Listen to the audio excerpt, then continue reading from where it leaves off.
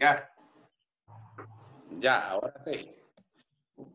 Buenas tardes, estimados docentes de Patricia. Es un orgullo poderlos saludar por este medio virtual. Hace ratos que no los veo, pero por este medio sí nos estamos viendo. Solo para agradecerles que se hayan conectado, que hayan tomado su tiempo, porque eh, quiero comentarles que este curso de diseño pues nos lo dieron de forma intensiva y de forma virtual. Más sin embargo, pues muchos lo están viendo un poco cargadito, pero lo estamos tratando, al menos yo con ustedes estoy tratando de que sea lo más práctico para que ustedes puedan tomarlo así normal. Para comentarles, pues eh, agradecerles por el presencial 1 y 2, magníficas tareas, vieron paletas, vieron otros rompecabezas, unas pirámides, excelentes trabajos, muy buenos. Yo espero que con ese ritmo sigan todos, ¿verdad? Asimismo, quiero comentarles de que iniciamos esta semana ya con el módulo número 2. Y el módulo número 2, ustedes ya lo leyeron, que me imagino que sí ya lo leyeron, lo que nos trae es la segunda parte del currículo nacional básico. Y lo que habla es sobre la caracterización de la educación primaria y preprimaria. O sea, ¿a qué se refiere la caracterización? No es más que las condiciones propias de ese nivel. hay un cuadro que les mandé y les pide caracterización de preprimaria. Ustedes me tienen que dar cuáles son las condiciones o las particularidades de ese nivel. A eso se refiere el módulo 3, a hablar sobre lo que es el CNB. Y asimismo, yo les pido y les mando un cuestionario. Un cuestionario donde aparecen figuras, ustedes solo tienen que responder a qué se refiere esa figura. Es prácticamente 10 preguntas relacionadas al CNB, ¿verdad? Creo que la mayoría ya lo resolvió. Luego hay una técnica 2 que se refiere a la segunda parte del CNB, donde hay un cuadro sinóptico. El cuadro sinóptico ya está hecho, ustedes ya no tienen que diseñar nada. Ahí ustedes, ya lo vieron ayer en clase, y si no, pues se los puedo mandar por este medio, por WhatsApp. Ahí aparece un cuadro sinóptico que es la actividad número 2, donde habla nivel preprimario, nivel primario y los tipos de escuela, la pura, la anexa, la multigrado. Y ustedes lo que me tienen que escribir son en los cuadritos. Azul. ¿A qué se refiere la caracterización y qué áreas se dan en el nivel preprimario, en el nivel primario y los tipos de escuela, así de sencillo. Luego, aparece una actividad 3. En la actividad 3 no es más que realizar actividades relacionadas al CNB. Ustedes tienen que tener su CNB del grado que ustedes están impartiendo, ¿sí? Yo aquí tengo uno, yo pues lo uso como referencia, más no doy clases como ustedes, ¿verdad? Pero ustedes sí me imagino que tienen descargado su CNB de acuerdo al grado que están impartiendo. Y de acuerdo a ese CNB, ustedes van a completar las tablas que aparecen en la, número 3, donde van a seleccionar una competencia cualquiera del área que ustedes ya sea de física, me imagino que les encantó el área de física, es muy bonito el curso, expresión artística, ciencias naturales, comunicación y lenguaje, qué sé yo, cualquiera que a ustedes les guste. Luego de haber seleccionado esa competencia en el CNB, ustedes van a analizarla, me van a decir cuál es sujeto. sujeto, acción, a qué área se refiere, contexto, a qué contexto se refiere y el sentido que le van a dar a esa competencia, ¿verdad?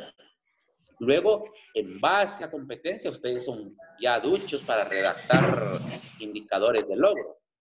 Van a redactar un indicador de logro para esa competencia que escogieron, guiándose a las tablas de la actividad número 3, que son cuatro incisos, están sencillos, porque van a tener que hacer también una línea del tiempo. Los ejemplos ahí están. O sea que las actividades del presencial 3 están súper, súper sencillas.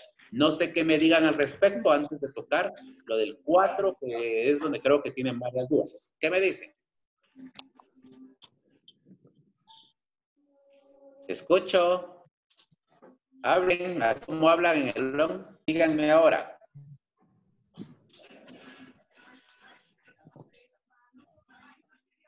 ¿Me escuchan? Ahí sí. ¿Están ahí? Sí, claro que sí, Lick. Claro que sí, Lick, estamos escuchando. A ver, Santiago, le da oportunidad a Santiago. Además, apaguen su micrófono, por favor. Santiago, encienda su micrófono. Claro.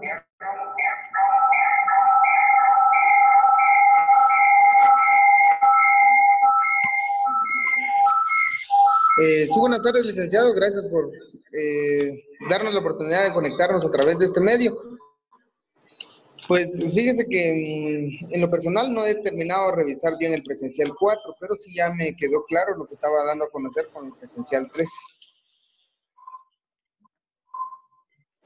Ah, bueno, el presencial 3 está sencillo. Y si tienen alguna duda, lo comentan en el grupo de WhatsApp o me escriben en WhatsApp a mi privado, ¿vieron? No hay ningún problema. Ustedes ya saben que mi ideal es que quede bien fijo el contenido que estamos leyendo, las actividades, y que no solo ganen un curso por quererlo ganar con 100, sino que lo ganen porque van a saber perfectamente cuáles son las directrices que establece el CNB, ¿verdad? Ah, muchas gracias, licenciado. Le agradezco bastante.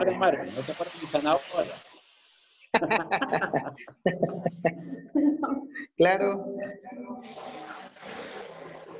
¿Otra duda, compañeritos? Rosita. Rosita Godínez. Licenciado. Hola, Licenciado, fíjate que yo, sí, es que yo aquí tengo tres libros del CNB. Aquí le voy a mostrar, no sé si se mira y tengo duda, no sé. Ajá. Aquí hay uno y aquí tengo otro. ¿Qué grado está dando usted? Primero. Esto creo que es el ODEC. Ese está bien. ¿Qué grado da ese niñito? Primero. Va. Entonces, ¿qué área le gustaría tomar? Entonces, busque un área, ya sea comunicación y lenguaje, si usted quiere matemática, y escoja una competencia, la que quiera. Y en base a esas competencias, usted va a llenar los cuadros en la guía y usted va a adaptar en base a esa competencia los indicadores de logro de acuerdo a lo que le pide la guía. Está, yo siento que la guía está bien familiarizada ustedes con el trabajo que realizan, ¿verdad?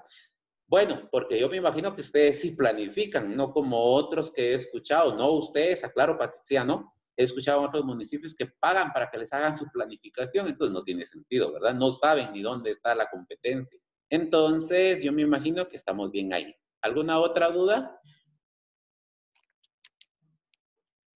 Estamos en el presencial 3. Eh, licenciado, solo para comentarle a los compañeros que creo que trabajamos una planificación similar con la licenciada Evelyn, ah, no recuerdo el apellido, pero ya vimos una planificación similar a la que usted está dando a conocer. Entonces, entonces esa les puede servir de referencia, porque en el presencial, ahorita estamos en sesión 3, 4, en la presencial 5 viene una planificación. Entonces, si ya la tienen, ya están familiares. Lo que quiere, miren, lo que se busca con diseño curricular es que usted se aprenda casi de memoria todos los componentes del CNB, ¿sí? Las características, qué es una competencia, cuáles son las áreas y subáreas que se dan, cuáles son los tipos de contenidos, a qué, qué es un indicador de logro, etcétera. Y eso lo manejan ustedes muy bien porque se viene hablando por mucho tiempo atrás, ¿verdad? ¿Alguna otra duda del especial 3? ¿Qué dicen ustedes?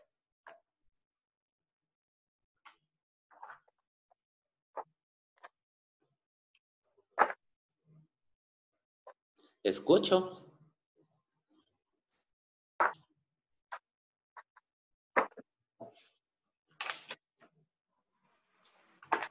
Díganme, hablen. Hoy quiero que con ustedes. Y si no paso el 4, donde creo que todos ya estamos con la duda qué va a pasar con el 4. ¿Les parece bien?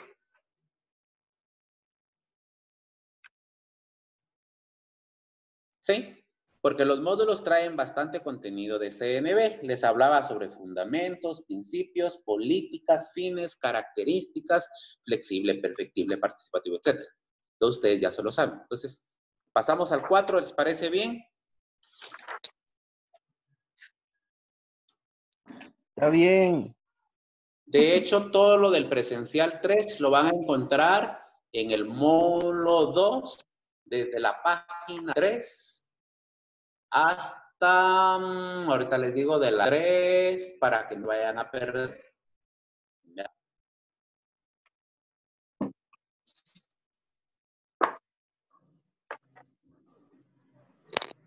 De la 23 a la 25, 20, 27 a la, a la 28. ¿Oyeron? El presencial 4 inicia la página 30, finaliza. Lo que me urge es la... Y era lo que les expliqué ayer. Quiero que se reúnan, pero por grupos de WhatsApp, ustedes. Los que trabajen en la misma escuela. Ustedes saben quiénes trabajan en la misma escuela. Por ejemplo, los que trabajen en los planes Acatenango, si son cinco, los cinco hacen un solo grupo. Si muchos trabajan en la marginal, la muchacha, independientemente de la jornada, hacen otro grupo. Si otros trabajan en el camán, hacen otro grupo. Y así, Cerritos Asunción, así sucesivamente. O en la María Raimunda Estrada Quiñones, ustedes saben. Entonces van a ser grupos. Los grupos no van a ser ahora de cinco ni de cuatro. Van a haber grupos de cinco, otros grupos de cuatro, otros grupos de dos y las personas que no tengan compañeros que trabajen en la misma escuela harán su trabajo de forma individual. ¿Ya? Los que trabajen en grupo no significa de que solo, por ejemplo, Marvin Santiago va a hacer el trabajo. No, se van a compartir qué hacer y luego todos van a subir a Classroom el mismo trabajo por individual, aunque lo haya trabajado lo hayan trabajado en grupo, porque en Classroom sí quiero que ustedes tengan su, propio, su propia concreción de esa comunidad, ¿verdad? Entonces, a la hora de, juntan toda la información que trabajaron, la recopilan, hacen el trabajito como tal y cada persona lo tiene que subir a Classroom, de acuerdo a las especificaciones, porque ahora en Classroom se los dividí ustedes se dieron cuenta en Classroom o si no, lo, me imagino que no lo han visto y los que no lo han visto quiero que lo vean hoy o mañana. Aparecen módulos diferentes. Aparece parcial número uno y en ese apartado suben el presencial. Aparece guía de aprendizaje 3 y en ese 3 suben lo del 3 y aparte lo del 4. No lo quise dejar todo junto porque en eso a mí se me fue la orquesta, valga el sábado, y me puse a calificar unos, entonces por eso que eh, José Israel y no sé quiénes más ya no pudieron subir el otro, porque yo ya había calificado, como que les había puesto un candadito. Entonces ahora está, por, están divididos para que no haya ningún problema.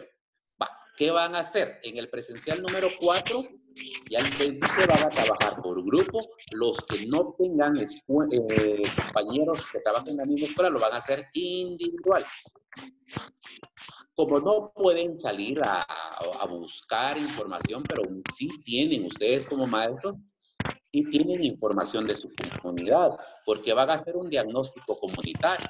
¿Y qué va a incluir ese diagnóstico comunitario? Va a incluir una matriz y en esa matriz ustedes van a incluir aspectos culturales, donde van a incluir la población mayoritaria, minoritaria, la comunidad que ahí reside, y utilización de indumentaria, cuál es el traje típico y otros aspectos de la cultura.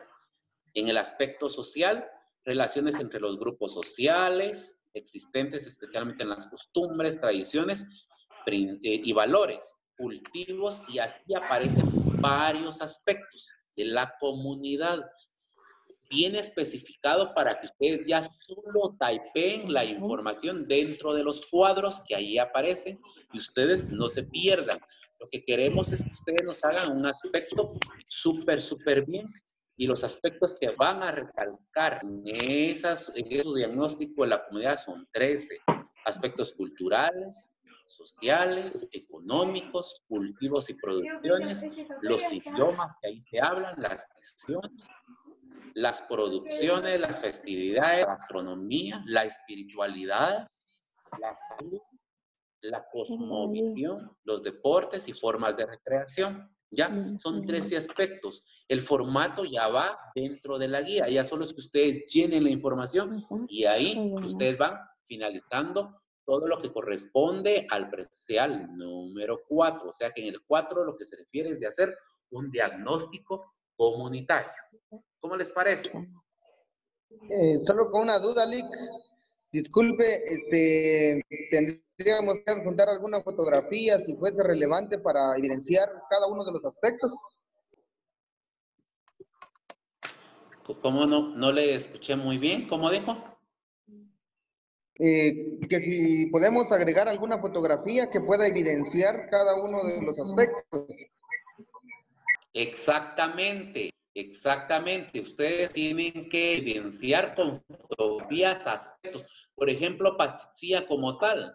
Si me van a colocar cultivos y producciones, imagínense, me van a colocar esos, esas, esos grandes lugares donde se plantan la zanahoria, la remolacha, el repollo, la cebolla, etcétera. ¿Ya? O sea que tienen que adjuntar fotografías e incluso hasta la iglesia de Paticea o la iglesia de la comunidad. Por ejemplo, Santiago, usted trabaja en la marginal La Muchacha. Se toma como casco urbano, entonces usted tiene que adjuntar en tradiciones las tradiciones que se dan en Paticea y me puede colocar la iglesia genial que ustedes tienen. ¿Se acuerdan que ya lo hicimos en una actividad en el curso de mm, administración? Cuando hicimos una iglesia, ¿se acuerdan? Entonces, buena pregunta, Marvin. Sí, tienen que agregar fotografías, por favor. Otra pregunta.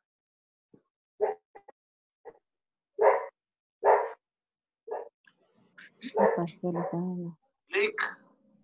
¿Sí? ¿Me escucha? Sí, le escucho. Fíjese que yo tengo una duda. En el Camán ¿Sí? hay dos escuelas en la aldea. Uno en el primero y otro en el tercero. Ajá. Entonces, Mm. en todo eso, Ajá. ¿qué voy a hacer? ¿Voy a tomar so- referencias solo del tercer cantón o de toda la aldea? Porque si es de toda la aldea, significa- Solo del tercer cantón a lo que... No, ahí va a tomar, acuérdese que estamos haciendo una concreción local. Usted, se- usted tiene que hacer solo lo del tercer cantón. Sí, porque solo ahí tenemos cobertura nada más. Exactamente, por eso es que estamos tratando de diseñar el CNB local, porque el tercer cantón se diferencia a los otros cantones y en el Camán, ¿verdad? E incluso hasta en- no creo que coman lo mismo, o si comen lo mismo, pero con diferente toque, ¿me entiende? Sí, porque si habláramos, así como usted decía, habláramos de iglesia, por ejemplo, Ajá. hay una gran diferencia aquí en el primer cantón que en el tercer cantón. En el tercer cantón, Se le fue el sonidito, pero a ver, ahora sí le estoy escuchando. eh, hoy se me escucha. Sí, ahorita sí. Yo les decía de que, por ejemplo, en el tercer cantón casi que el 90, 95% van a una iglesia que se llama católica, digamos. A comparación de aquí del primer cantón, casi que el 90%. Ese 95%, entonces ya ve. O sea que usted no se puede juntar con los demás porque no es el, el- o sea, ¿quiénes trabajan en el tercer cantón con usted? Las ausentes creo que no están en las reuniones, Albertina y Elda. Va, so- ellas tres, traba- si trabajan en su escuela, solo ustedes tres. Si hay otra que trabaja en el CAMAM, pero no en el tercer cantón, tiene que hacer su propia investigación. Ay, ay, ay. Esa es la duda, gracias, Lick.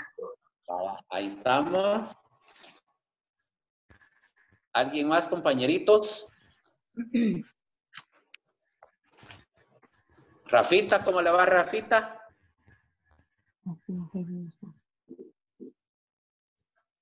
Rafa dice, Me dejaron hablando solo. Me dejaron hablando solo con Rosa. Gusto de saludarlo, Rafita. ¿Cómo Bien, va? gracias. Que me alegra verlo ahí todo ejecutivo. Fíjese que solo. Gracias, Lee. El caso es que solo la compañera Aura se conectó conmigo. Fíjese que Pero su audio aquí estamos. no muy es porque los demás tienen su micrófono encendido y si apaga el resto su micrófono, por favor, y solo dejan a Rafa con el para que él hable, para si no hay interferencia. Eh, solo es mi, mi micrófono.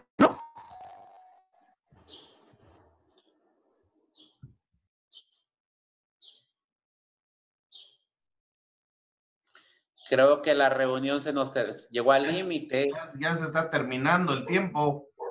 Va, entonces, compañeros, cualquier cosa, tómele una captura cuando ahí que estemos todos, eh, por favor, Fernando. Y a los que no lograron comunicarme, me escriben por WhatsApp, por favor. Fue un gusto haber, haberlos oído, haberlos visto, y creo de que será en una próxima oportunidad. El sábado yo voy a agendar una, y ahí nos vamos a poder ver, ¿oyeron? La foto a la una, a las dos, a las tres. Gracias. Saludos, Ervin. ¿Qué tal, Lick? Saludos ahí a todos. Igual, Lick, bendiciones. Para los Gracias. Ah, me extraña. Por el buen tiempo, a Rafita también y a todos por la disponibilidad que estuvieron conectados. De todo corazón les deseo éxitos. Por favor, adelante con sus actividades para que no lleguemos al sábado y saturarlos bastante. ¿Oyeron, por favor? Ya les voy a decir Gracias, que Dick. en el, en el otro bimestre, porque ya el otro bimestre se separan por especialidad. Gracias, Ya licenciado. se- quedan los de Gracias, prepa licenciado.